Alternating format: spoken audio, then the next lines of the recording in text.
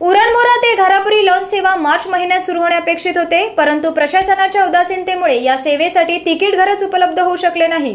त्यामुळे आता ही सेवा एप्रिल महिन्यात सुरू होण्याची अपेक्षा आहे.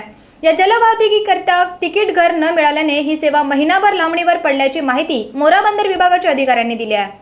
या सेवेमुळे उरण पनवेल रायगड ठाणे नवी मुंबईतील पर्यटकांसाठी घारापुरीपर्यंत पोहोचण्याचा जवळचा व कमी खर्चाचा पर्याय उपलब्ध होणार आहे.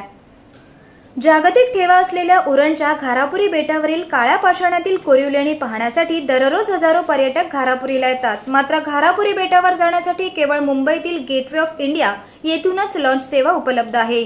त्यामुळे मुंबईपासून दूर असलेल्या रायगड ठाणे जिल्ह्यातील तसेच नवी मुंबईतील पर्यटकांना घारापुरी जवळ असूनही मुंबईला येऊन लॉन्च पकडण्याचा त्रास सहन करावा लागतोय.